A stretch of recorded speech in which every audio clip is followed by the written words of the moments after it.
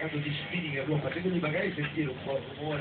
del motore fino alla fine, cioè l'obiettivo è sfibrare il rischio perché credo che anche gli altri sensibilità non siano dire, mettersi davanti significherebbe probabilmente scoprire delle carte, ma statene lì fino alla fine, se ne hai per stare lì dietro. Io stavo notando che il mio investimento è fallito, io ho perso i 50